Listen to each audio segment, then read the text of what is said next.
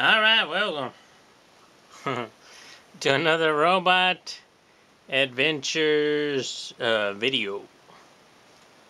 Come by. This is made by Takata. I don't know if it's affiliated with the toy company, but Takata Kanju Hai. Oishina. Mm-mm-mm. Children, don't watch this. Everyone else check it out or don't. Also brought to you by, by uh, Delicious Doritos. This Robot Adventures video brought to you by... It actually isn't brought to you by, but... Squid flavored Doritos. And grilled chicken Doritos. Nothing says Doritos like squid and grilled chicken. Mm -mm. So what did I do? What did I do? Not completely finished, but uh, a work in progress. And I just wanted to show you my fuck-ups. So this is my Macross. And I was working on it for a while, and... Um, yeah, I just wanted to show you... Uh, get up close and point out some things that, of course, you should and shouldn't do and some other things. Uh, this is the first go at making this video, so uh, if I restate myself or if I miss some things, I'll probably be annoyed, but oh well. Uh, some background on this figure. I used only sticker decals on this thing complete sticker decal, no water slide decals. So on this uh, on the, on the main Macross figure, you had the option to go with stickers right there or water slide right there. Uh, stickers were pretty good, very easy to put on. However, there are some parts that, you know, you're like, well, maybe I should have used a water slide. So, specifically, any curved uh, feature, like this piece here, and of course the other shoulder piece there, and, you know, all these curves. Um, look at that. The head crest thing, completely shitty. So, yeah.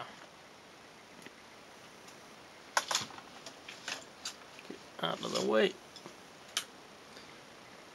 Yeah, I think a water slide decal. Uh, probably look at look how much it's like a fucking butterfly. It's not even attaching to the surface. I had the same problem uh, with my uh, Aile Strike Gundam uh, which I showed you guys before. So, as far as uh, just uh, sticker-based, I forgot what the technical term for them is, like pressure, pressure decals or something like that. Um, they're not good for curved uh, features. What I ended up doing here, remember this was my my weak point in my Gundam. This, this, the decal right there on that knee. I went ahead and put some cement, uh, like some adhesive on there, and then reapplied it. But uh, yeah, so the the ends of stickers seem to peel up. So it's kind of hard, and you know you're supposed to put a top coat on that, but still. So, I would suggest going with uh, any curved surface. I would suggest using a, a water slide decal if you had the option. Um, let's look at uh, what else I did. I did. I've only done half of this figure with the top coat of clear. So, what side do you think has a clear top coat? Of course, the shiny side right there. So this side is no clear. So I, I just wanted to show the, the difference between a clear. I, I did both arms in clear and half of the body in a clear coat. Um, this wing was done in clear also.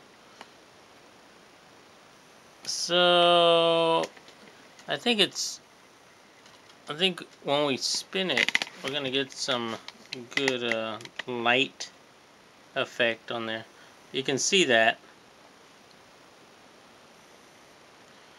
That's the clear side. And when you get over to the dull side, you have nothing.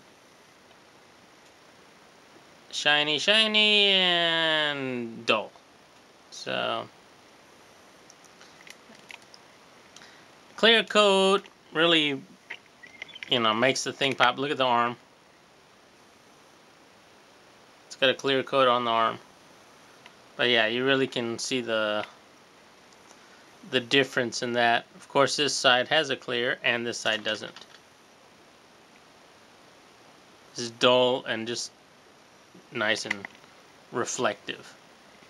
This leg, no clear coat, and the other leg.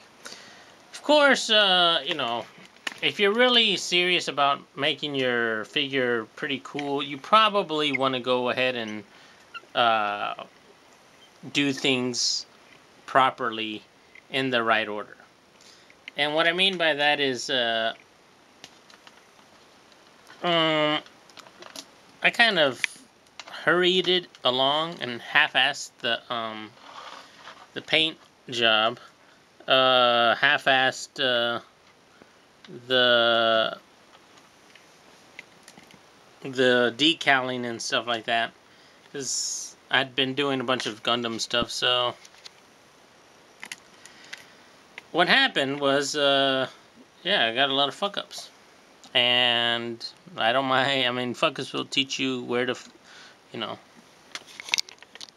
what to do and what not to do in the future. Fuck ups are okay. Uh, you can clearly see here, I'm hoping if I can, the sticker based, uh, pressure based stickers don't do very well on these curved surfaces. So let's take a look at the ghosts and I have uh, uh, done a little bit something different with these ghosts. Well, let's start off with this one. And this ghost here, if I can get it to stop shaking. It has no... Oh, great. It's going to make it very difficult to see. There's no uh, panel lines. Nothing done. No wash on it. And no top coat or base coat. This is just the Ghost. With... Uh, decals on it only. And you can see how, right there, how uh, they look a little bit light and not really adhered well to the sur to the surface. I, I did add some softener, as you can see right there. You can see it's, I really like the softener. That stuff is good. The setter, you know, this is so-so. But, uh, yeah, the softener really. But, yeah, you can see it's not really set. I'm sure easily, I could easily rip that off. But, uh, yeah, there's no, uh, no panel lines or not much done with this one. But that's what you get if you just apply the decals with uh, no paint. Something to consider there. Number two. This guy. I did do the, um... The wash on it. And you can see the panel lines very clearly. I did not do uh, a base coat of clear. I just applied the seat, uh, the decals uh, without a base coat, and then I, I, I sprayed a top coat on top of that. Um, I think it came out well. Um, however, I did lose a couple of decals somewhere. I don't know where. Oh, no. Where's which one did I lose the decal on? Oh, the other one. Anyway, this this piece here, and I did apply the clear top coat to it, so it does have that kind of a shine. And finally, this one I did today. And this one has the clear base coat and uh, clear top coat. However, I just about did every fuck up thing you could do when I was putting this thing together. Uh, I was touching I was touching things before they were dry. I was uh, applying clear coat and touching touching wet paint. Uh, I dropped it on my shorts. Uh, yeah, I was trying to move um, like uh, decals I was trying to move them after they were like, I left them sitting in the water for too long. They got really, really fucking wet and soft. And then I was trying to manipulate them and they ripped. And so, just a whole bunch of things that you could probably do wrong is what I did on this one. I, I did apply the, the, the, a clear top coat and that's good because now I can actually touch them a bit. Not you know I'm sure I could probably rip that up. That isn't really set so yeah I mean if you really want to do a, a model what I do like about and of course you guys know what I like about the, the water slide decals is that they are easier to work around uh, curved surfaces, especially with the setter. You can apply it and then put a top coat on top of that, and it, it really seems to wrap around well around a curved surface there. So that's pretty good. Uh, whereas the pressure-based just stickers those don't seem so good with the with the um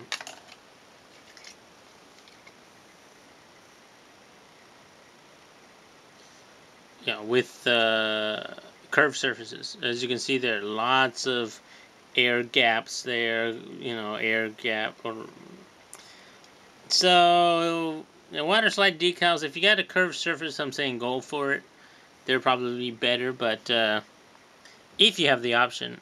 If not, uh, stickers are pretty good for flat surfaces. Um, these are all, like I said, all stickers. And yeah, it's kind of tricky. Look, look how that the ends peel up on that. As you can see right there. So, yeah that's what I know about uh, decals. And, uh, yeah, if you got any suggestions or, uh, you know, constructive criticism, well, let me know. Uh, that's it for my Gundams and my Macross. Everything's finished. They're all done. So, all I'm going to do now is finish painting up this guy. Just do the other half in a, a clear coat and then just put them away in a, in a drawer somewhere. And next uh, review will probably be um, Queen's Blade coming out at the end of this month. And then uh, we got the Revoltech and Masterpiece 10. Uh, Alright guys, I'll talk to you guys later. If I post anything else up, well, you know, comment let me know if it's annoying or something. Talk to you guys later. Uh, bye bye. Come bye. It's Doritos with squid flavoring. It's fucking awesome.